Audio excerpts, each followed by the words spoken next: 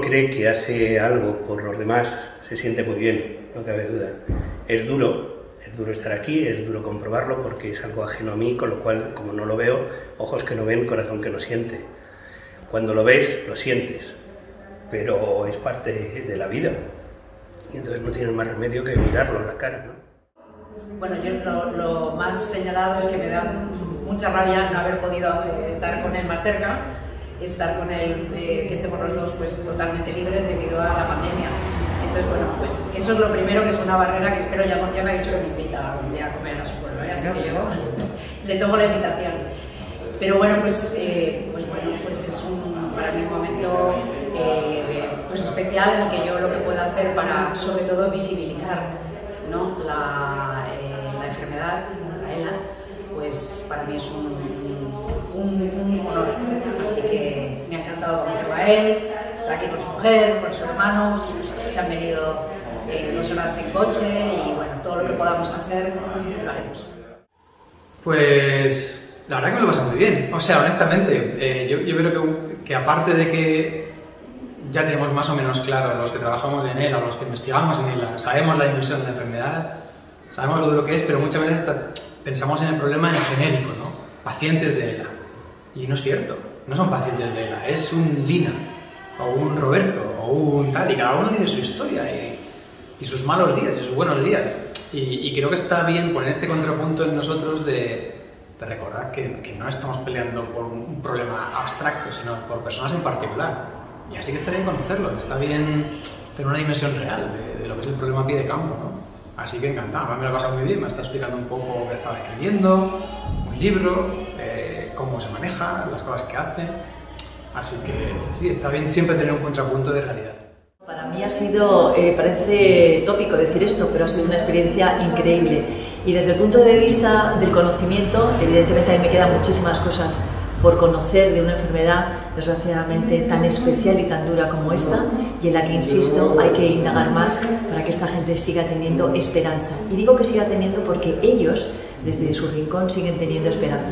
Yo, insisto, no conozco mucho esta enfermedad, pero sí me dedico a esa parte del cine. Y el cine, como siempre digo también, es esa parte no solo de entretenimiento, sino también de cultura y de conocimiento. Y en el cine también aparecen historias donde encontramos este tipo de personas personas que cuentan su vida, personas que cuentan a través de sus sentimientos, emociones y nos las hacen llegar a nosotros. Y eso es lo que me ha pasado con Carlos.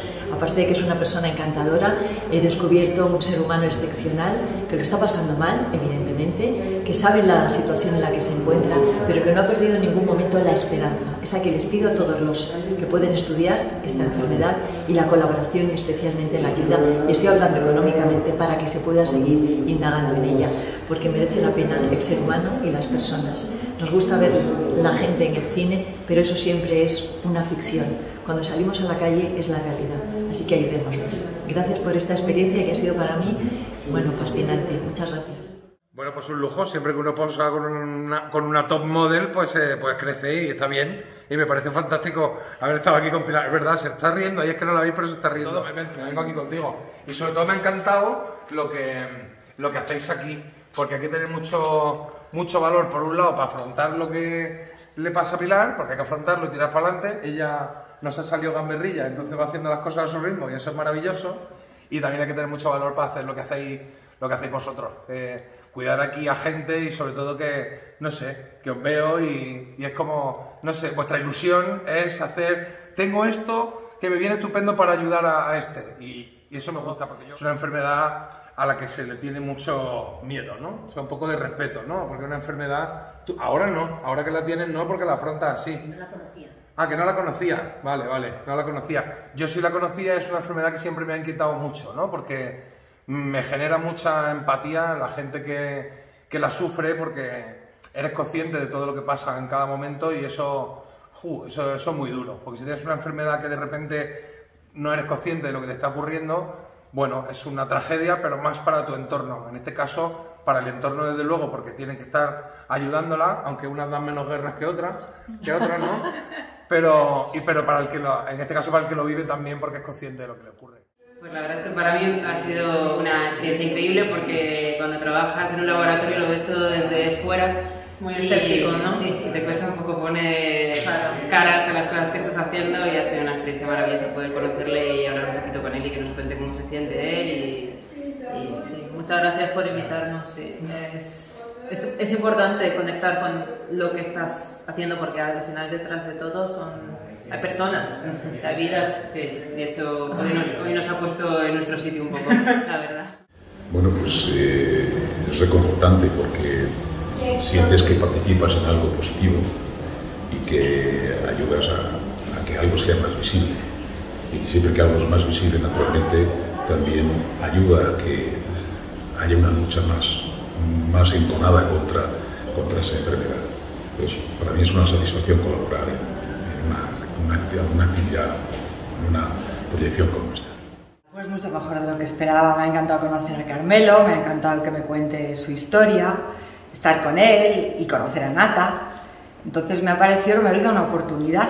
O sea, en realidad os estoy agradecidísima por haber contado conmigo y haber podido aportar algo y sobre todo llevarme yo esta experiencia de haberles conocido. Eso ha sido estupendo. Pues no ha sido nada que no esperara, porque ya tengo experiencia en estas cosas, no muchísima, pero he tratado con personas en situaciones complicadas, como mi propia madre, y me alegro mucho de haber servido, si he servido de algo, para tener una hora y pico de charla, de conversación, de que la persona que tiene menos comunicación con el mundo la tenga, aunque yo no me considere el mundo, ni vosotros que estábamos juntos todos. Y creo que esas son pomadas que estamos obligados a dar, porque cuando alguien está encerrado en una inmovilidad física, psíquica o, o- o de, o de hablar, por ejemplo, que no era el caso de Patricia, porque se expresa maravillosamente bien y está muy despierta, agradece mucho cambiar de conversaciones. Y sintiéndose un poco el centro de las cosas, recuperan no solamente la autoestima, sino la diversión. Y como yo eso más o menos lo conocía, dentro de mis torpezas he procurado que fuera así. Estoy contento de haberme visto todo. Bueno, yo tengo que decir que las cosas yo las veo con muchísima naturalidad. Le he visto a Jorge con mucha fuerza. Me he quedado muy impactada de sus ojos, esos ojos que hablan sin necesidad de que haya palabra. El lenguaje no verbal a veces es tan importante como el verbal. Jorge me ha captado el corazón, eh, con la técnica, la posibilidad de comunicarnos ha sido fantástica y creo que, que tenemos un hombre que tiene muchas ganas, tiene, es muy joven, le queda mucho por dar, por decir.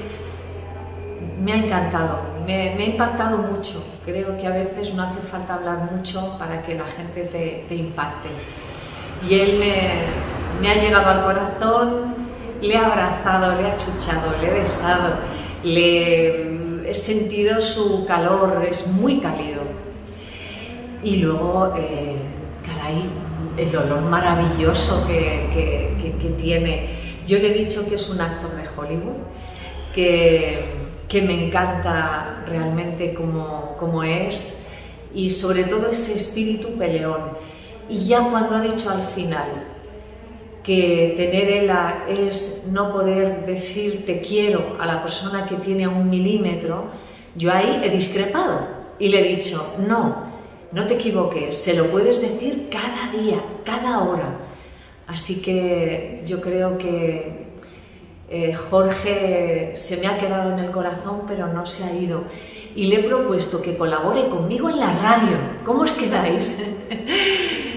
Muchísimas gracias por haberme dado esta oportunidad de haber conocido a alguien que te llega al corazón. Pues ha sido una experiencia muy hermosa, muy bonita y sobre todo de toma de conciencia, de, te das cuenta de que, eh, cuántas cosas en este sentido desconoces y lo que no se conoce eh, No existe. no existe, termina no estando en tu vida. Por eso es tan importante eh, tener acto presencial. Y lo que tú vives como experiencia, de repente, pues pasa a estar en el mundo. Y todos tenemos que.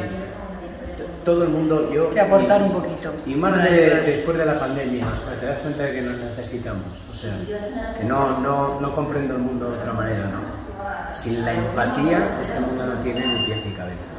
Pues yo lo único que me quito el sombrero con esa madre, que yo soy madre de tres hijos y, y madre mía la fortaleza y, la, y lo, lo, que tiene que ella luchar y espero que por favor, o sea, yo lo único que pido es que en esta sociedad pues que ayudemos y que entendemos que estos niños puedan tener una vida pues por lo menos lo, lo más cómodo o lo mejor posible para ellos y para su familia porque creo que lo necesitan. Y sobre todo los gobiernos que, estén, que estos gobiernos cambien que tomen y, que, y que les sensibilidad ayuden. de cuánta ayuda necesita, por ejemplo, una madre como ella, ¿no?